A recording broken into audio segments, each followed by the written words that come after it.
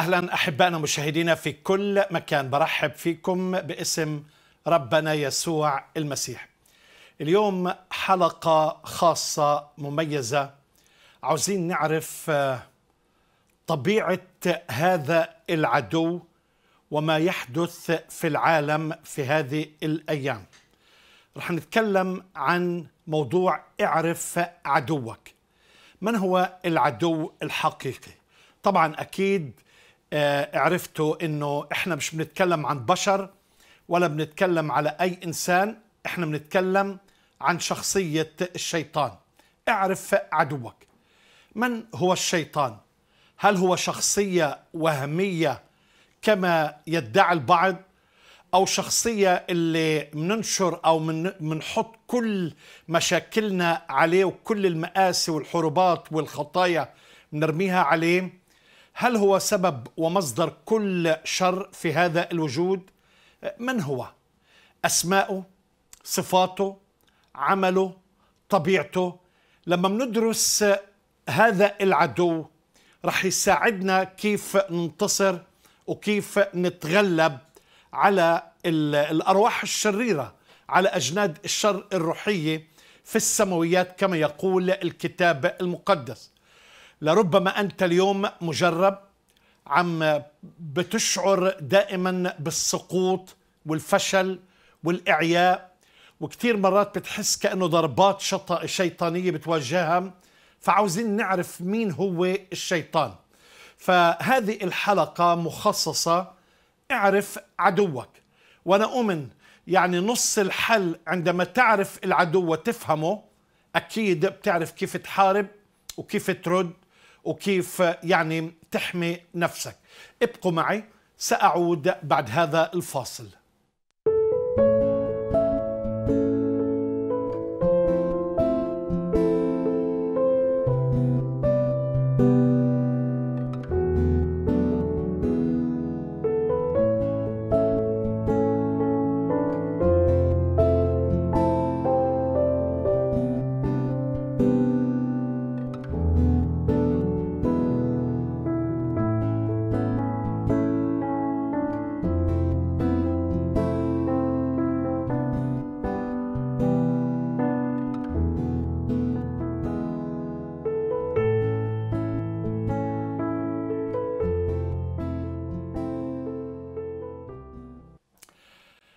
أهلا أحبائنا مشاهدينا في كل مكان. موضوع هذه الحلقة اعرف عدوك ويسرنا أن يكون معنا أخ وصديق وطبعا مش يعني مش غريب عن المشاهدين دكتور ناجي إسكندر. دكتور ناجي هو زميل الكلية الجراحية الملكية الجراحية أو للجراحين في إنجلترا. ولكن كرس وخصص كل وقته للردود على التساؤلات والتشكيك اللي عم نواجهه في هذه الأيام. واحدة من الأشياء اللي اللي بشككوا فيها كثير هو موضوع الشيطان. فبدون طبعا الدخول لتفاصيل خليني أقدم في البداية. دكتور ناجي اسكندر أهلا وسهلا فيك يا دكتور. أهلا بيك يا أسيس نزار. الموضوع اللي أنت اخترته موضوع مهم جدا جدا لأنه بنواجهه في حياتنا اليومية في حرب يعني يومية. عادة لما بستضيفك بتكون بتتكلم عن الأدلة والإثباتات في موضوع الخلق وموضوع الفلك. والأسئلة الكثيرة اللي بتدور في سفر التكوين والردود على الإلحاد ويعني وأسئلة yeah. كثيرة. لكن اليوم موضوع شوي بيختلف. Yes. أنا توقعت إنه هذا الموضوع يكون يعني أستضيف قسيس ولكن أنت عندك قلب الخادم وأنت رجل الله وربنا يباركك دكتور ناجي وإحنا كثير مبسوطين إنك تكون معنا. خليني في البداية أسأل السؤال أنت عارف بالخدمة المسيحية أنا عم بواجه نوعيتين من الناس. أي. والنوعيتين هم two extremes okay. التطرف الأول كل حاجة بدخلوا فيها الشيطان. أيوه. السياره عطلت الغسالة عطلت كل حاجة بدخلوا فيها الشيطان. وكأنه الإنسان لا توجد له إرادة أو قرار أو حرية أو يعني Yeah. في الموضوع.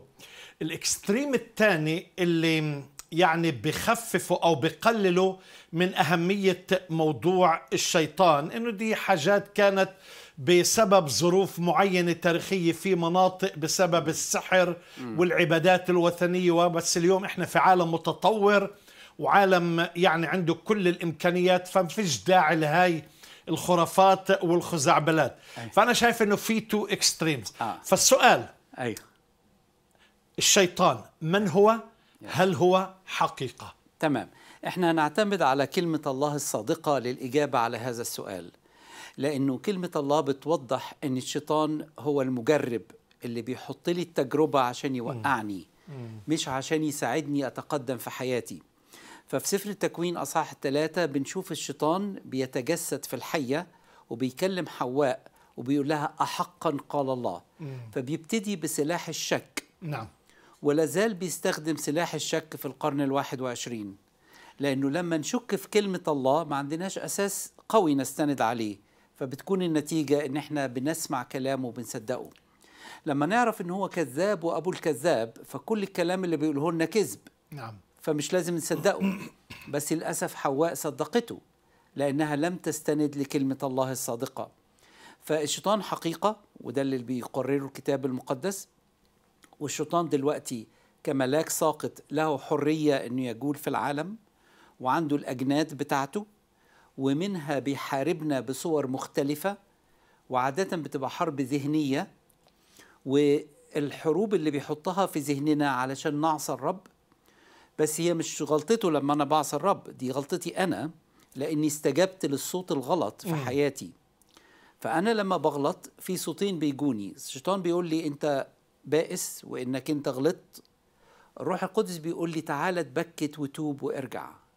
فلازم أسمع لصوت الروح القدس وما أسمعش لليأس اللي بيحطه الشيطان. ولما بشككك بالشكل الإيجابي إنك أنت شخص كويس وأنت مش بحاجة أنت إنسان بار وسمعتك حلوة وكله تمام عنك. آه دي برضو مشكلة تاني.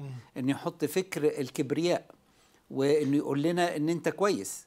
بس هو كذاب فأنا مش مش هصدقه حتى لو قال لي إن أنت كويس. لأن الأهم هو مقياس الرب لحياتنا هو المشكلة في موضوع التمييز. أيوه. آه، دكتور ناجي. صح. يعني صعوبة التمييز بين الأصوات. في آه. أصوات كثيرة طبعا. ولكن الشخص الروحي بيميز يعني الشخص اللي ماشي مع ربنا yeah. بيميز بالظبط. الصوت وبيعرف إرادة ربنا. لأن في روح الله يسكن فينا فلازم أنا أقدر أ- أتناغم مع روح الله عشان أقدر أميز الأصوات. عارف يا قسيس نزار يعني إحنا في الاستوديو اللي إحنا قاعدين فيه في موجات من السي ان ان والبي بي سي وحاجات كتيرة قوي. ليه مش بنستقبلها؟ لأني ما عنديش الجهاز اللي أظبطه عليها. فأنا في الحرب الروحية لازم أظبط الجهاز بتاعي اللي هو عقلي وارادتي على فكر الله. وده بيحصل من قرايتي ودراستي لكلمة الله. الت- ال- التمسك بوعود الله في حياتي. آه، أعرف يعني إيه غفران الله لحياتي. لما غفر لما يقول خطاياكم لا أنساها آه، لا أذكرها أعود في لا أذكرها. أذكرها فيما بعد. ربنا مش بيجي له حالة نسيان. لا دي معناها إنه خطاياي مش هتقف ضدي في المحاكمة. خطاياي مش هتقف ضدي كصك ضد حياتي. وده اللي عايزين نفهمه لما نفهم غفران الله في شخص نقدر- دفع دفع الثمن. فكده اتلغى عليا الحساب. فأنا خدت براءة. والبراءة اللي خدتها دي مش وراها سجل. يعني في واحد مثلا يدخل السجن سنة ويطلع براءة بس عنده سجل ماضي بيقول إن هو اتسجن في الحياة الروحية لما بقبل الرب يسوع خطيتي بتزال من غير ما يكون عندي سجل. okay. يقول لي إن أنا كنت مجرم في الماضي. فالسؤال يعني بيرجع بكرر إنه okay ال- الشيطان عنده أسماء yeah. كما إنه المسيح عنده أسماء وصفات وطبيعة إلهية. yeah. الشيطان طبعا هون مش بقارن الشيطان بيسوع حاشا. طبعا طبعا. طبعا. آه لأنه مخلوق. المسيح هو الخالق صح. يعني والكامل. لكن الشيطان حقيقه لما بنقرأ في كلمة الله عنده أسماء طبعا. عنده صفات عنده طبيعة وعنده أجناد يعني عنده يعني خدم آه. وملائكة وقوات بمراتب معينة بنلاحظ أيوه. إنه بيشتغلوا في مجالات كثيرة طبعا. فمن هو الشيطان يا الشيطان حسب الكتاب المقدس هو ملاك صادق ساقط لأنه كان ملاك نور وتكبر حاول يخلي عرشه مكان عرش الله وبالتالي سقط من نعمة الله وأصبح مضاد لله طول الوقت. علشان كده عايز يخرب خليقة الله وعايز يخرب الإنسان اللي صنع على صورة الله. وهذا الاسم اللي بنستعمله اسم لوسيفر. yes يعني okay. yeah ف- فده تاريخه في الكتاب المقدس. فإحنا بنتكلم مع كائن روحي والكائن الروحي دي له سلطات واسمه رئيس سلطان الهواء وعنده أجناد زي ما حضرتك قلت أجناد الشر وبي- الروحية. آه لكن الشيطان ما يقدرش يكون موجود في كل مكان. الشيطان بيبعت أجناده لأماكن مختلفة.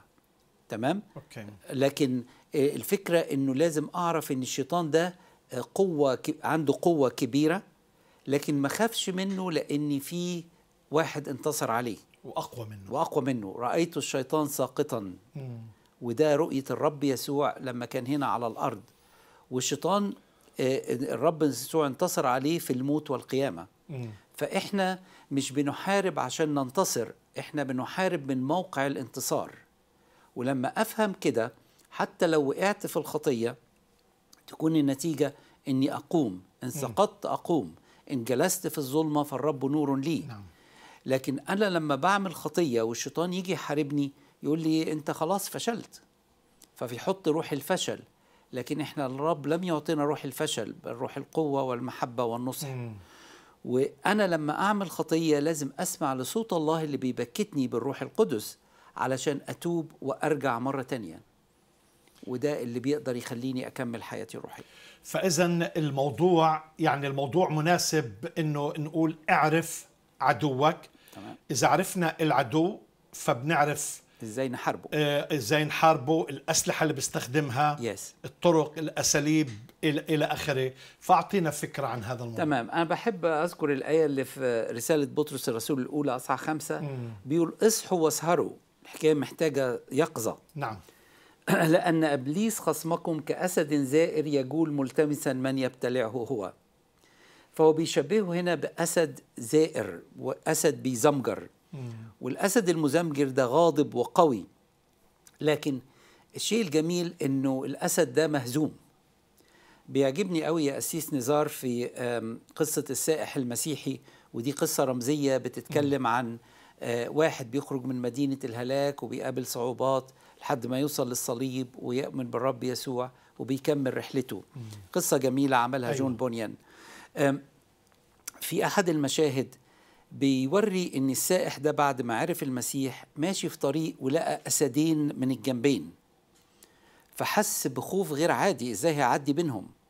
لما ركز في الصورة لقى إن الأسدين دول ممسوكين ب- بسلسلة من حديد وهو لو مشي في النص بالظبط الأسدين دول مش هيقدروا يقربوا منه. فحتى لو كان بيزمجر أنا لو مشيت في سكة الرب مش هيقدر يعمل لي حاجة. الصورة دي في ذهني من سنين عديدة وبحس إنها مفيدة جدا لأنه الرسول بطرس بيقول لنا اصحوا واسهروا فوقوا خلوا بالكم مم. لأن إبليس خصمكم هو عدو مش هيكون عايز مصلحتي ابدا مم. كعدو بيقول لي إيه إن هو أسد زائر وزمجره الأسد قوية ومرعبة مم. فبيقول لي إن هو ملتمسا من يبتلعه هو هو عايز يبتلع بس مش هيقدر بس عشان كده قاوموه راسخين في الإيمان في واحد تاني شبه الأسد إنه مزمجر ولكن بدون الأسنان. تمام. فيعني كلها صوت. هو يا. صوت على الفاضي صوت زي ما. بيقولوا. يعني لكن طبعا الكتاب المقدس بيورينا أسماء كتيرة للشيطان. هنحاول نشوف على الشاشة قدامنا. الشيطان كلمة عبرية مشتقة من الفعل شطن أي تمرد. من شيطان أيوه. من شيطان فهو متمرد. متمرد على الله متمرد على خليقة الله. المقاوم كمان. المقاوم بالظبط كده. فهو متمرد وعايزني أكون أنا في صفه فأكون أنا كمان متمرد على الله. ففي في آه، سفر زكريا في العهد القديم بيتكلم عن الكاهن العظيم اسمه يهوشع الكاهن العظيم. وأراني يهوشع الكاهن العظيم قائما قدام ملاك الرب والشيطان قائم عن يميني ليقاومه. وابتدى كان يهوشع كان لابس ثياب قذرة غير غير نقية برئيس كهنة. وابتدى الرب ينتهره ويقول له إن أنا هلبس هألبس يهوشع لباس البر من جديد. فالشيطان لما بيشوفني في وضع الخطأ أو وضع الخطية بيبتدي يشتكي عليا ويبتدي يقول لي أنت مش بتحقق فكر الله في حياتك. أنت عملت غلط ضد شريعة الله الواضحة في كلمة الله. مهما كان الخطأ كبير أو صغير علي أن أقول لينتهرك الرب يا شيطان أنا بعتمد على بر المسيح اللي بيكسيني.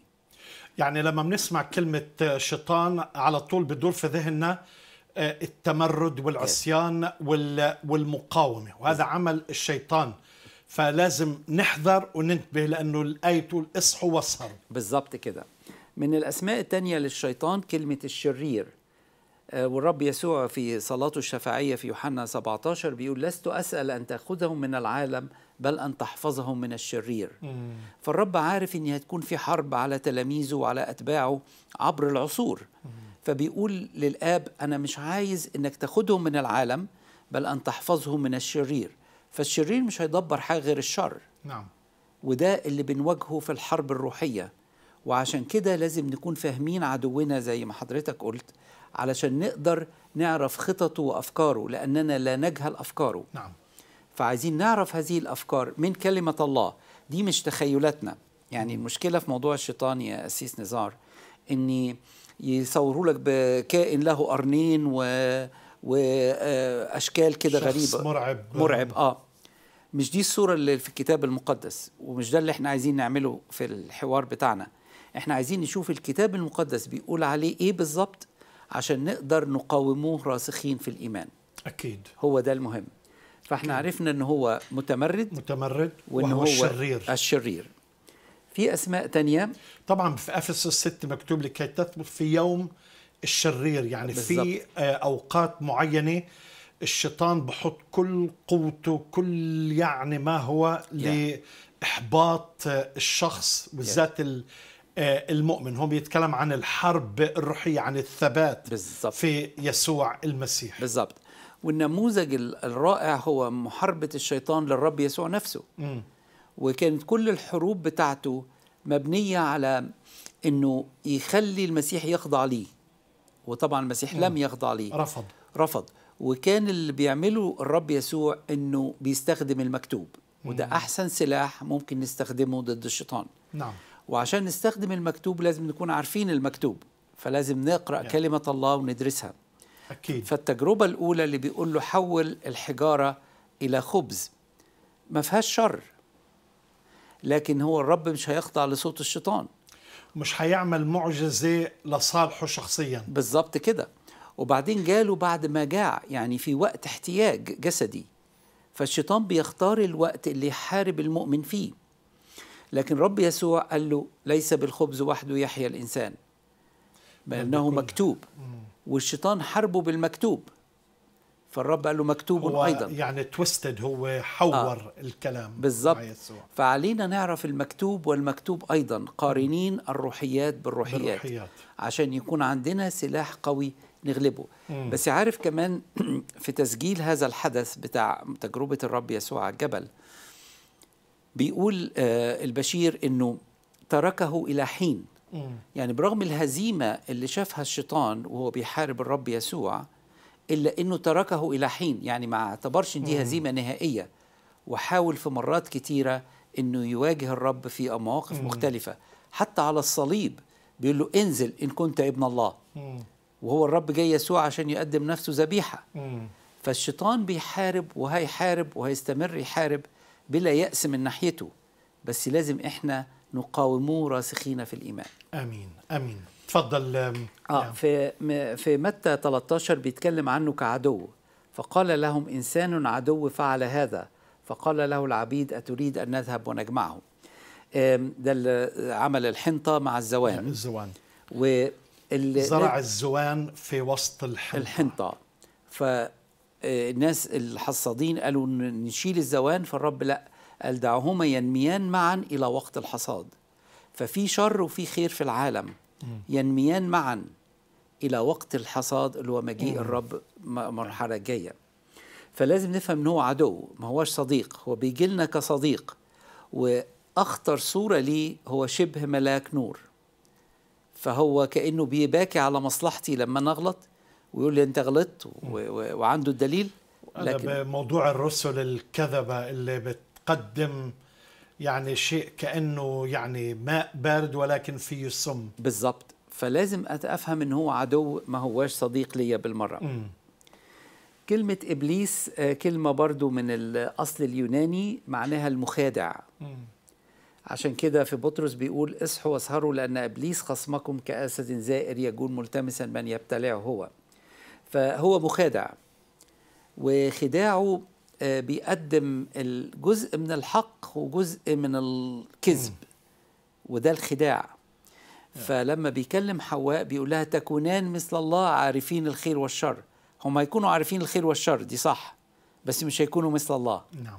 فالخداع من ال- من الأمور الخطيرة اللي بنواجهها في الحرب الروحية. ونحتاج ان إحنا نفهم إن هذا المخادع لا يمكن إني أجري حوار معاه. الأفضل اهربه يعني هو واحدة من أصعب المشاكل هي الخداع لأنه الخداع يعني هو جزء أو من الكذب والكذب يعني له أنواع في تحوير الكلام تحريف الكلام أنصاف الحقائق ببين صورة ولكن صورة بتختلف. يعني إلها أشكال وأنواع كثيرة وأكثر يعني أكثر شخص تتعامل أو أخطر إنسان تتعامل معاه هو الكذاب. الشخص الكذاب بيتلون بيكون مرائي مخادع مراوغ بياخد كل الأشكال كل ال- الألوان لأنه صفة الكذب هي طبيعة الشيطان. إحنا بنتكلم Yes. عن طبيعته. Yep. كذاب وأبو الكذاب فكل ما يخرج من الشيطان هو كذب. وهي الظاهرة على فكرة يعني حتى بين المسيحيين يعني يعني هو المفروض ما فيش عندنا شيء اسمه كذب أسود ولا كذب أبيض ولكن الكولتشر بتاعنا في الشرق الأوسط اكتسبنا عادات الكذب يعني وصار كأنه شيء مستساغ حتى يساعدنا يسندنا آه. يعني يطلعنا من من, مأزق. مواقف واحدة من يعني بعد إذنك تفضل. واحدة من ال- المقولات الشهيرة للكاتب نجيب محفوظ على ما أعتقد عاوز أتأكد نجيب محفوظ قال هم كذابون وهم يعلمون أنهم كذابون وهم يعلمون أننا نعلم أنهم كذابون ومع هذا يكذب. فإنهم يكذبون فإزاي تتعامل مع واحد اللي صفته صفة شيطانية Yeah. حتى لو بيقدم لك من برا عسل. ولكن فيه سم الكذب بالظبط وده الخداع أنا فاكر في أحد الحروب كان آه، آه، جيش بيرمي آه، للأطفال آه، ألعاب جميلة جدا وراديوهات صغيرة وباكيت شوكولاتة وكلام زي كده وهي في الواقع قنابل. فالشكل الخارجي حاجة والمحتوى حاجة تانية وده الخداع. ويسموه الخداع الاستراتيجي في الحروب والأمور دي كلها. في الزواج وفي ال- في الهجرة وكثير يعني- يعني حاجات. فالخداع ده شيء مرعب جدا وعلينا إن إحنا نعرف إن الشيطان ده مخادع وعلينا إن إحنا نعرف إزاي نقاومه ونثبت في الإيمان واللي بيكذب عنده طبيعة الشيطان. يس لأنه وصفها المسيح يعني وصفه وصفين. كان ذاك قتالا منذ البدء وأيضا كذاب وأبو الكذاب. يعني فاذا هذا موضوع خطير يعني لأنه الشخص اللي بيكذب هو عمليا. بيكون ابن للشيطان. بالظبط كده. بالظبط كده. فدي كلمة إبليس معناه مخادع. في كلمة تانية بيقول إنه رئيس هذا العالم. الرب يسوع في يوحنا 12 بيقول الآن دينونة هذا العالم الآن يطرح رئيس هذا العالم خارجا. فرئيس هذا العالم ده ما يخوفناش لأنه العالم وضع في الشرير. طبعا. فهو رئيس هذا العالم عنده سلطات وعنده إغراءات وعنده آه، تجارب بيقدمها لنا. لكن إحنا بن مش بنحارب عشان ننتصر الانتصار ده حصل في المسيح. إحنا بنحارب من موقع المنتصر عشان نهزم هذا العدو المهزوم في المواقع الشخصية اللي بنقع فيها. عشان نوضح الفكرة دكتور ناجي إنه لما بنقول العالم إحنا بنتكلم على نظام. أيوة. نظام عالمي له فلسفته له أخلاقياته له آه، قيمه. آه، قيم هذا العالم اللي هي ضد المسيح وعم نشوفه Yeah. في هذه الأيام عم بيكتر بالشرق قول من زمان. آه. آه عارفين إنه الشرق الأوسط يعني الأغلبية الساحقة ضد آه المسيح بسبب الديانات يعني بينكروا هويه يسوع ولكن في الغرب طبعا عم كمان بهاجموا هوية يسوع ولكن مثل ما ذكرت بيستخدموا كل أنواع آه. المراوغة والكذب وهذا اللي عم بصير نظام عالمي Yeah. اللي هو ضد المسيح بالظبط كده فهو رئيس هذا العالم لكنه مهزوم. دي الحاجة اللي عايزين نركز عليها باستمرار. عنده قوة لكنه مهزوم. آه، مكتوب العالم كله وضع في الشرير. صح. وإنه العالم يمضي وشهوته. بالظبط كده. وهيئة هذا العالم ستزول. يعني بغض النظر اللي حاطط كل هدفه كل حياته كل إمكانياته كل مصرياته كلها في العالم هذا العالم رح يزول. بالظبط كده. اسمه إله هذا الدهر آه، في كرونسوس الثانية بيقول الذين فيهم إله هذا الدهر قد أعمى أذهان غير المؤمنين لئلا تضيء لهم استنارة إنجيل مجد المسيح الذي هو صورة الله. فهو بيعمي الأذهان آه، مش العمل جسدي في العين لكن عمل فكر. العمل روحي. آه وده خطير جدا لأنه لما الإنسان الأعمى مش مش قادر يشوف مش قادر يعرف الحقيقة لكن بنستنى استنارة مجد أولاد الله فينا. بنستنى نور الله يشع فينا عشان نقدر نشوفه. فبنورك نرى نورا. بنور الرب نقدر نفهم المكتوب ونفهم عمل المسيح في حياتنا. عشان كده مهم إن إحنا نخلي بالنا إنه لما بنسمع ناس بتستهزئ بالرب وبتقول حاجات سيئة وشفنا في افتتاح الأولمبياد أشياء غير و... جدا.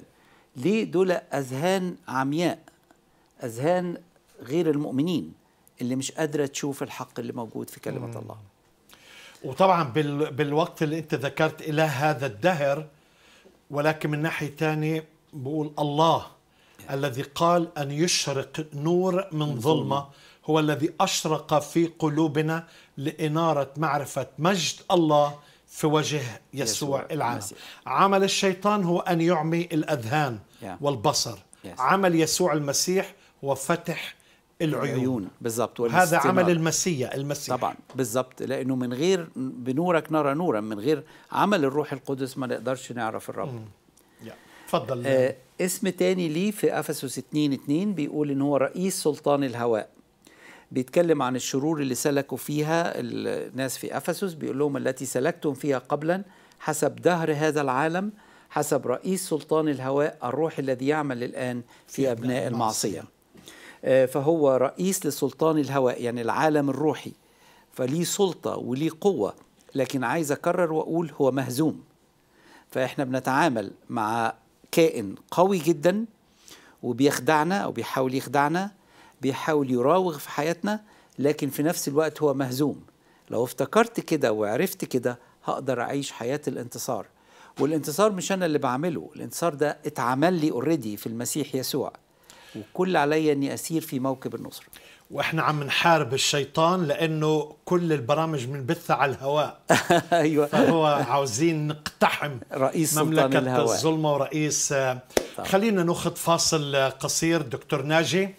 وبحب إذا أنت يعني عم تكتشف من خلال الأسماء اللي هي من الكتاب المقدس بيذكرها دكتور ناجي بتحس إنه أنت مجرب في هاي النقطة أنا بدعوك إنك تيجي للنور تيجي ليسوع المسيح. سأعود بعد هذا الفاصل.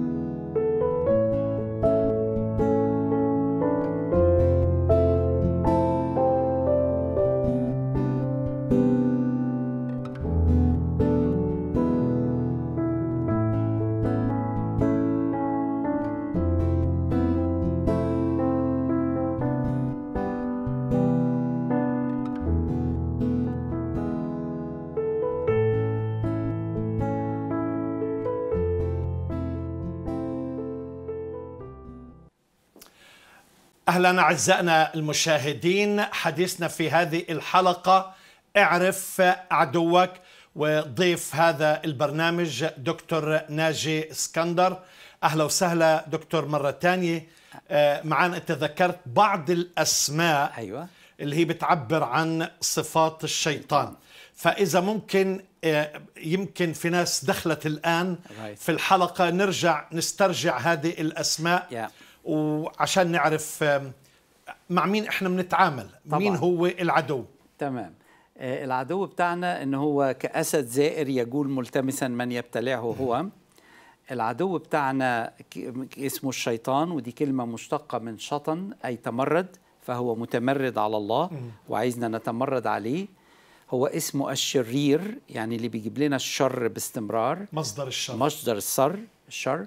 هو عدو فبيبدو كأنه صديق لكن هو عدو وهو عدو الخير. بيزرع الزقان في وسط الحنطة. حنطة بالظبط كده. واسمه إبليس وكلمة إبليس معناها المخادع. وشفنا الخداع ده من الوسائل الخطيرة اللي ممكن توقعنا في خطايا كتيرة. ممكن حد يديني باكج كويس جدا آه، شوكولاتة مثلا ولا حاجة ويكون جواه قنبلة. هو ده الخداع. الشكل الخارجي غير الحقيقة الداخلية. آم، شفنا كمان انه هو رئيس هذا الدهر إنه رئيس سلطان الهواء إنه بيعمي أذهان غير المؤمنين. فدي كلها كلمات كتابية إحنا مش بنألف حاجات عن الشيطان أو بنتخيله أو قصص وهمية عنه. إحنا بندرس شخصيته من مفهوم كلمة الله الصادقة. وإنه كل اسم من الأسماء اللي ذكرتها بتعبر عن صفاته بالظبط وبتعبر عن طبيعته كمان. أيوة. طبيعته كلها شر. بالظبط وعن عمله في حياتنا أو الحرب الوسائل اللي بيستخدمها ضدنا. وشفنا في الجزء الأول من الحلقة إزاي نتغلب عليه باستخدام كلمة الله. الشيطان لأنه مخادع ممكن يستخدم كلمة الله. فلما راح للرب يسوع وقال له ارمي نفسك لأنه مكتوب. أنه يوصي ملائكته بك لكي يحرسوك فلا تصدم بحجر رجلك. فكان الرد الرب يسوع مكتوب أيضا لا تجرب الرب إلهك. فعلينا نعرف المكتوب والمكتوب أيضا علشان نقدر نرد على فعل الشيطان في حياتنا. آه، من الأسماء التانية اللي ما ذكرناهاش اللي بنستكملها مع بعض بعل زبول. وده معناه سيد الذباب أو القاذورات. وده لما الرب يسوع أخرج شياطين لأن الشيطان كان ممكن يتجسد في إنسان وزي ما شفنا في كورة الجدريين الشخص اللي كان الشيطان بي بيمتلكه كان يو يو يعني يو- يجرح نفسه بالحجارة. وده شيء يعني self destruction يعني واحد بي بيدمر نفسه. وده شيء غريب يعني. والرب يسوع لما أخرج الشياطين الشياطين على فكرة عرفته وقالت له أنت ابن الله. أيوة. وقالت له لماذا أتيت قبل الوقت لكي تعذبنا؟ لكن الفكرة أن الله لما أخرج الشيطان من حياته حياته اتغيرت. فالفارسيين اللي هم كانوا بيتعاملوا مع الدين أو يعني بيتظاهروا بالدين قالوا فلما سمعوا عن الشخص ده قالوا هذا لا يخرج الشياطين إلا ببعل زبول رئيس الشياطين. فكان تفسيرهم لأن الرب يسوع لما أخرج شياطين إن هو برئيس الشياطين أخرج الشياطين. أخرج الشياطين. فالرب قال لهم لو في مملكة منقسمة على ذاتها مش هتثبت. أم، فهو سيد الذباب أدا كلمة معنى بعل زبول. كلمة تانية اسمها بليعال ومعناها بنو لئيم فاللؤم أو الخداع. كلها شوف الصفات متداخلة ومتقاربة علشان تدينا شخصية لكائن بيحاربني ليل ونهار. ف الر- الرسول في كورنثوس الثانية بيقول أي اتفاق للمسيح مع بليعال. وأي نصيب للمؤمن مع غير المؤمن. ودي عن علاقتنا وشركتنا لازم تكون في النور وتكون بعيدة عن هذا المخادع اللئيم. اصطلاح يهودي يستخدم إنه أنا مش شرير أو ابن الشر أو ابن الفساد آه. أو الخطية. يس واستخدم في العهد القديم حن إم صموئيل يعني و... استخدمته. يعني. حلو.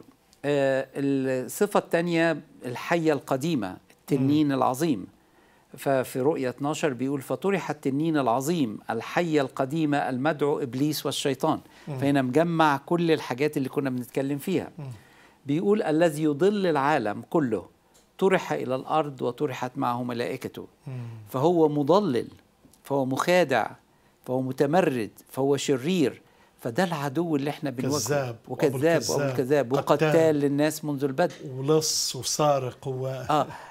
فلما نعرف عنه كده ونعرف إن إحنا انتصرنا في المسيح المشكلة إن إحنا بنحاول نواجهه بمجهودنا. أو بالمنطق البشري فبنفشل لكن إحنا لو اتبعنا النموذج اللي قاله الرب يسوع مكتوب ومكتوب أيضا هنقدر نتغلب على كل محارباته ولو وقعنا في الخطية إن سقطت أقوم. ما اسمعش صوت الشيطان بتاع اليأس لكن أسمع صوت الروح القدس بتاع التبكيت عشان أرجع مرة تانية. أيوه. يعني هو اللي بيغوي هو اللي بيغوي يا. وهو اللي بيسقط بالظبط. وبعد ما نسقط بيشتكي علينا. بالظبط كده. المشتكي على الإخوة ليلا ونهارا. نهارا بالظبط. وهنيجي للآية دي لأنها مهمة قوي ودي الآية اللي كانت عندي في لا تفضل لا. حلوة قوي. لا ممتاز. في رؤية 12 بيتكلم في عدد عشرة وسمعت صوتا عظيما قائلا في السماء الآن صار خلاص إلهنا وقدرته وملكه وسلطان مسيحه. ليه بقى؟ لأنه قد طرح المشتكي على إخوتنا الذي كان يشتكي عليهم أمام إلهنا نهارا وليلا. فهو مشتكي. فبعد ما يغريني وأنا أقع في الخطية يروح يشتكي عليا. فهو كذاب وأبو الكذاب لكن المرة دي بيقول الصدق إن أنا وقعت في الخطية.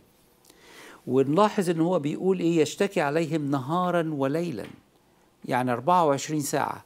بس اللي عايز أطمن نفسي بيه وأطمن كل الأحباء المشاهدين إن عندنا شفيع في السماء الرب يسوع عن يمين العظمة في الأعالي يتراءى ويشفع فينا طول الوقت. يعني برضو وأنت بتذكر الأسماء والصفات دكتور ناجي إنه يعني الشخص اللي بيشتكي يعني في ناس ضلت تشتكي تشتكي تشتكي هاي برضو صفة شيطانية. يس الشخص اللي بيكذب وبيكذب وبيكذب هذه صفة شيطانية. بالظبط الشخص اللي عنده آه، يعني عنف داخلي وقساوة آه، يعني روح العنف موجودة في داخله صفة شيطانية. آه، الشخص اللي يعني عاوز ينهب ويسلب Yes. آه، مش يعني شرط فعليا ولكن في تفكيره. دائما عاوز طماع في أمور أخرى Yes. سواء الشهوة آه، الجسدية الجنسية إلى آخره Yes. في أي حاجة Yeah. كل هاي صفات شيطانية بالتأكيد بالتأكيد وعشان كده لازم نعرف عدونا علشان نعرف إزاي نحاربه فهو مشتكي لكن و- ودي شيء مرعب إنه يشتكي علينا نهارا وليلا ما بيبطلش لكن الشيء المعزي والمقوي إن الرب يسوع بيشفع فينا. عندنا المدافع بالظبط والمحامي والشفيع. واللي دفع الثمن فالشيطان يجي يقول له ناجي عمل غلطة. يقول له بس أنا دفعت ثمن الغلطة دي وناجي بيؤمن بيا. مم. فالشفاعة الرب يسوع لينا دي شفاعة مهمة جدا جدا جدا. لحد لما يجي مرة تانية ويخلصنا من جسد الخطية فنقدر نعيش معاه بسلطان جديد من غير ما يبقى والشيطان هيقيد وهيطرح في آه، البحيرة المتقدة بنار وكبريت. طيب قبل يعني ما نفوت في الجزء الآخر من الموضوع هل في أسماء تانية؟ أكيد في أسماء في- وصفات يعني. آه الاسم الثاني القتال. القتال أوكي إحنا جبناها بس جبناها بس عايزين نقول الآية بتاعتها في يوحنا 8 44 آه، الرب بيسوق بيقول للشعب اللي كان مش عايز يسمع له بيقول له أنتم من أب هو إبليس. وشهوات أبيكم تريدون أن تعملوا. ذاك كان قتالا للناس منذ البدء ولم يثبت في الحق لأن لي لأنه ليس فيه حق. ولازم نفهم إنه قتال مش بس بيقتل لكن قتال سفاح. وبيقول الرب إنه شهوات أبيكم تريدين أن تعملوا. بيقول إن ذاك كان قتالا للناس منذ البدء فهو في البدء في جنة عدن لما راح يحارب آه، حواء وآدم كان بيحاربهم عشان عايز يقتلهم عايز ياخد منهم الحياة. ولم يثبت في الحق لأن ليس فيه حق. فدي الأسماء اللي جمعتها من كلمة الله بشواهد كتابية عشان تورينا من هو العدو.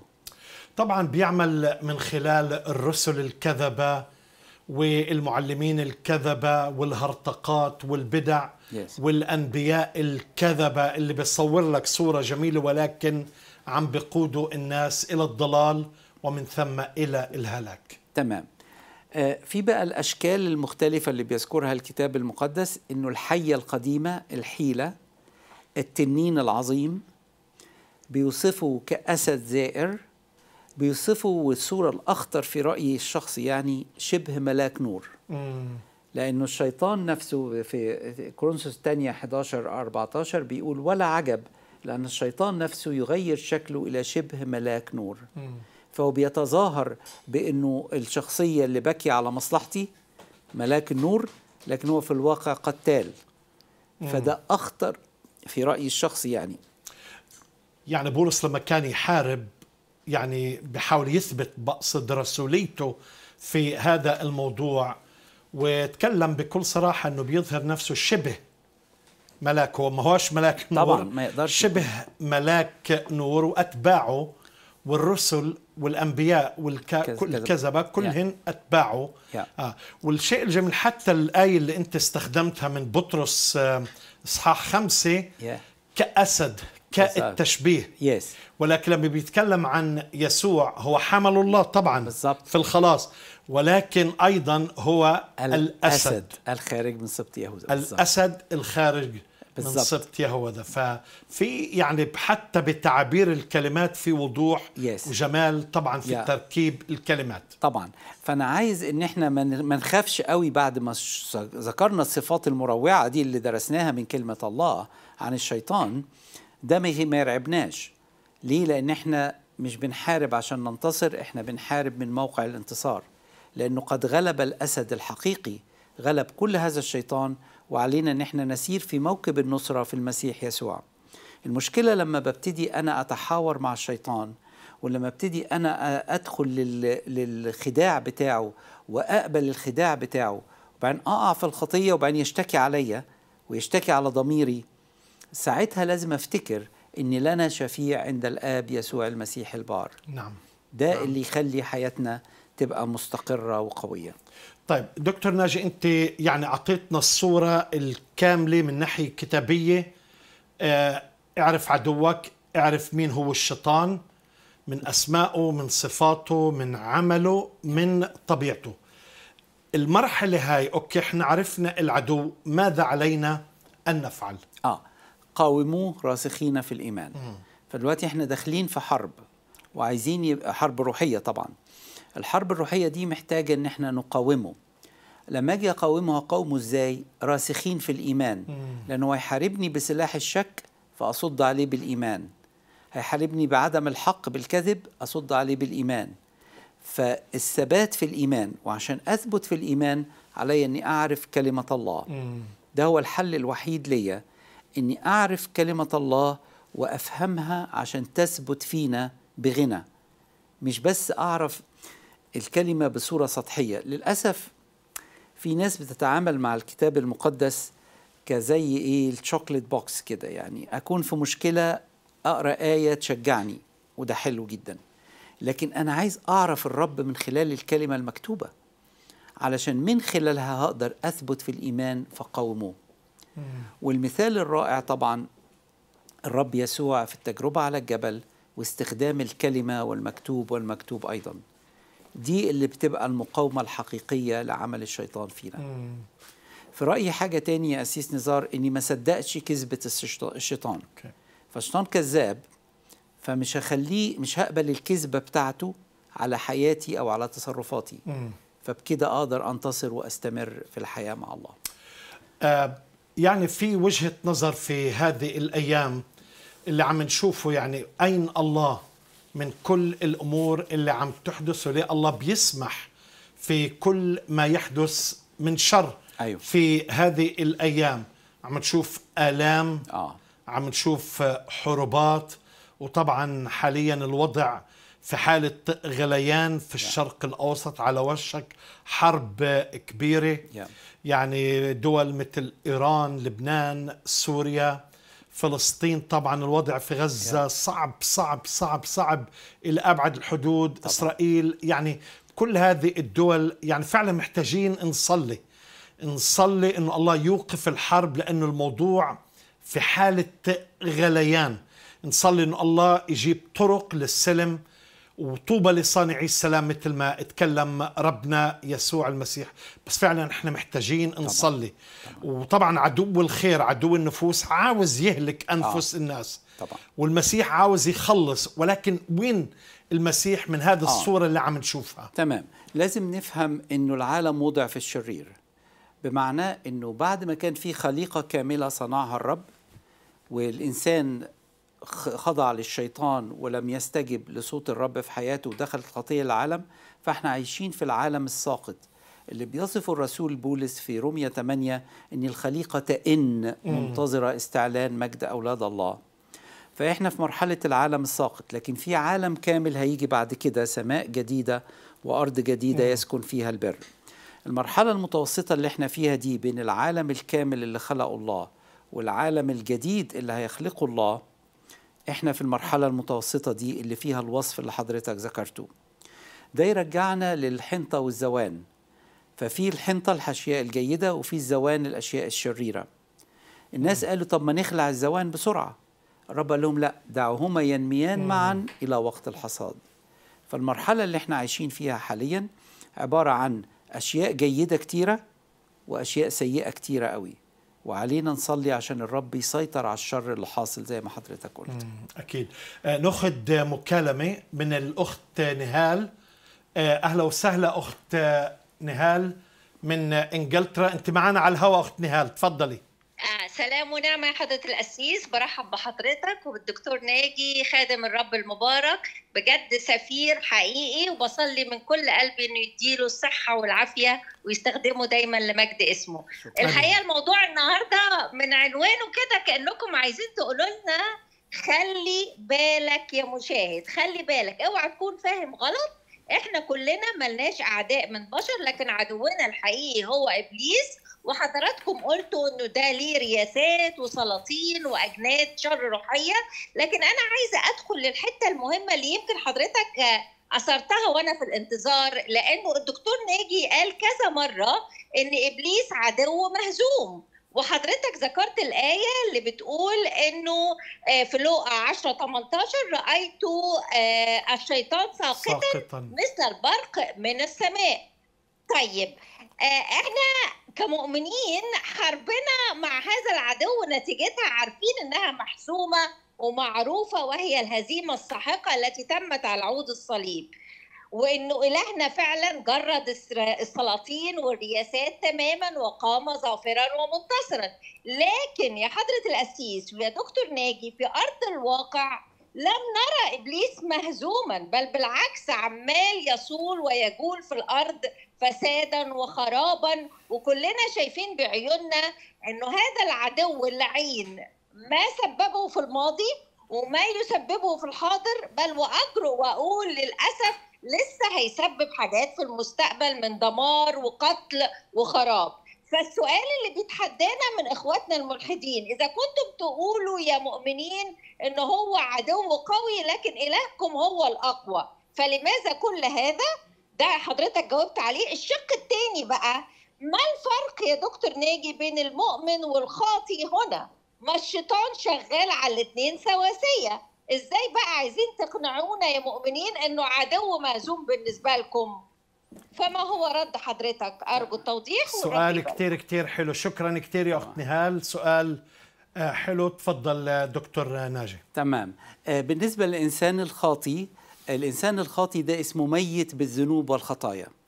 فهو إنسان ما فيهوش حياة الله.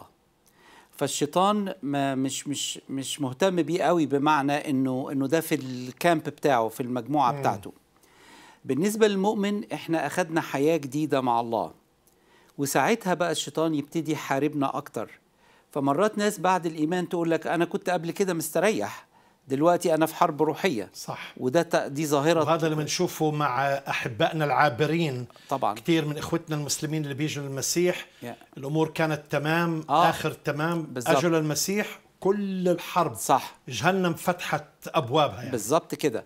فالفكرة إنه الواحد يا إما إنسان ميت بالذنوب والخطايا ده الإنسان اللي بعيد عن الرب وده الشيطان هو ده في الكامب بتاع الشيطان ما عندوش مشكلة. طبعا بيخليه يخطئ ويخطئ تاني ويديله يأس ويعمل فيه اللي هو عايز يعمله. لما بؤمن بالمسيح باخد حياة جديدة ولما باخد الحياة الجديدة دي بيبتدي الشيطان يحاربني أكتر وأكتر وأكتر. في ترنيمة ظريفة زمان كانت بتقول فكثرة الحرب لنا برهان الانتصار وكلما سطى العدو إن رد باندحار فالحرب الشديدة معناها إنه الإنسان المؤمن ده آه، ماشي في المكان سكة الرب. الصحيح. آه عشان كده العدو عمال يحاربه بالكذب وبالصفات الكتيرة اللي درسناها. لكن آه، الفكرة إني أنا في موقع الانتصار حتى لو سقطت أقوم. نعم. في الطبيعتين الطبيعة القديمة والطبيعة الجديدة. بالظبط الروح يقاوم الجسد وكليهما يقاوم أحدهما الآخر.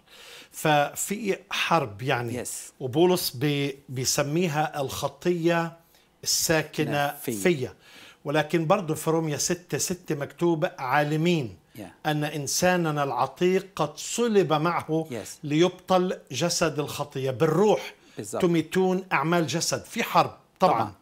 وفي تجارب Yeah. ولكن لا يقل أحد إذا جرب إنه أجرب من قبل الله لأن الله غير مجرب. مجرب بالشرور ولا يجرب أحدا ولكن كل واحد يجرب. إذا انجذب وانخدع. من شهوة ما في العذر تقول الشيطان لا. لا. يعني كثير ناس بتسقط الشيطان اللي خلاني أعمل. لا لا لا. انجذب وانخدع من شهوته. يا. والشهوة إذا حملت تلد خطية والخطية إذا كملت تنتج موتا. هو الشيطان بيغريني بس أنا المسؤول إني أقبل الإغراء ده أو أرفضه.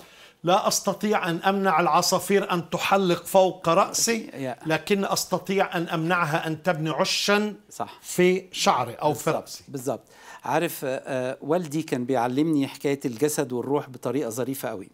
يقول لك لو جبت نسر قوي جدا ده ملك الفضاء وربطته بحبل بكلب لو غذيت الكلب قوي هيقدر يجر النسر ويمرمطه في الأرض وفي التراب. لو غذيت النسر وجوعت الكلب النسر هيكون عنده القوة إنه يشيل هذا الكلب ويطير بيه. فلما كبرت شوية قلت يحصل إيه لو غذيت الاتنين مع بعض؟ الجسد والروح. هيحصل شد في الحبل يحصل حياة المؤمن اللي هي آه، فيها نزاع مستمر. فهو لما يكون في العالم وبيعمل زي ما العالم بيعمل مش بيبقى مستريح. حياة النزاع والصراع هو بالضبط. أحد السلوك بالجسد. بالظبط لما يكون في الوضع الروحي يبقى عينه على الجسد وعلى العالم فهو مش مستريح في الحالتين. فالحل طبعا شكرا يا أختي نهال جدا على سؤالك لأنه سؤال عملي وده أهم حاجة في البرامج إن إحنا نشوف أسئلة عملية. الشيطان عدو مهزوم.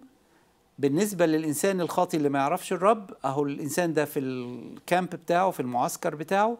لكن في الإنسان المؤمن اللي عرف الرب بتبتدي الحرب الروحية وتزيد بس أنا عايز أطمن كل إنسان مؤمن أنت منتصر في المسيح. وعليك تعيش حياة الانتصار وتسير في موكب النصرة زي ما الرسول بولس بيقول لنا. أكيد طبعا طالما إحنا تكلمنا عن اعرف آه، عدوك وعرفنا أنه عشان أعرف العدو بدك تعرف مين هو. يا طبيعته أسماءه صفاته عمله. إذا أدركنا هذه الأمور ساعتها بنقدر نبني حياتنا يعني بالروح إنه طبعاً. تمتلئ بروح آه، الله. طبعا. فلو أنت عاوز يعني نقول في خلال الدقيقتين بالختام توصل الرسالة. طيب إحنا اعرف عدوك بالمقابل إيه المفروض نعمل؟ آه اعرف إلهك المنتصر. اعرف الرب يسوع اللي هزم هذا العدو. ولما الرب يسوع هزمه بيقول لك تعالى خليك في موكب النصرة بتاعي بت- اللي هو بتاع الرب يسوع يعني. فالفكرة إني أنا علي إني أتوب وأقبل ما عمله الرب ليا علشان أكون من عائلة الله ولما أكون في عائلة الله أنا مقدس في المسيح يسوع. وفي ناس عم بتمر في تجارب صعبة في هذه الأيام طبعاً. وعم بيعانوا من آلام طبعا. وضيقات و... وعايزين هيك كلمة كلمة رجاء. لهاي الناس إيه اللي ممكن توصل كطبيب وكمان كخادم للإنجيل. تمام. آه، اللي يقدر يطمنا في كل العوامل المتغيرة دي وفي كل الصعوبات اللي بنعدي بيها إن الله هو الممسك بزمام الأمور. هو ضابط الكل. فحتى لو حسيت إن كل الأمور حواليا مش متناسقة وماشية في اتجاه غلط علي إني أرجع تاني وأقول له يا رب من فضلك قودني وساعدني علشان أمشي مظبوط معاك وأفهم أو أتعايش مع إرادتك في حياتي فأقدر أنمو وأستمر. دكتور ناجي ربنا يباركك وشكرا جزيلا على وقتك. شكرا. وربنا يستخدمك أكثر وأكثر ودائما زورنا. دائما زورنا في ده, ده شيء برنامج ليكن ده شيء يشرفني يا أسيس. حبيبي الله يباركك الله يباركك دكتور ناجي. طبعا إحنا دائما بنتكلم عن الأسلحة الروحية طبعا. وهي الاسلحه الأسلحة افسس 6 في أسلحة الدفاع وفي سلاح الهجوم اللي هو سيف الروح اللي هو كلمة الله وفي الصلاة مصلين بالروح. وأنا دائما بقول في يعني مش أقل من خمس أو ست أسلحة اللي أنت بتنتصر فيها على العدو. أول شيء الشيطان بخاف من الإنسان المتواضع. الشخص المتواضع فتواضعوا تحت يد الله. فدايما الشخص المتواضع هو مرعب للشيطان. اللي عاوز ال super spirituality الروحانية العالية وكذا دول عرضة للضربات والتجارب. السلاح الثاني اللي مهم جدا نستخدمه مثل ما تفضل دكتور ناجي هو سلاح الكلمة. سيف الروح سيف ذو حدين بقوة الكلمة. إن قوة الكلمة هي التي تنتصر على العدو.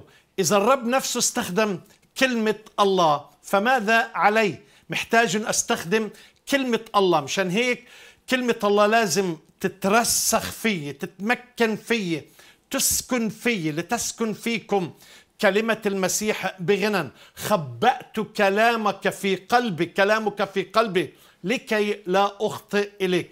كلمة الله. يسوع انتصر على الشيطان بالمكتوب.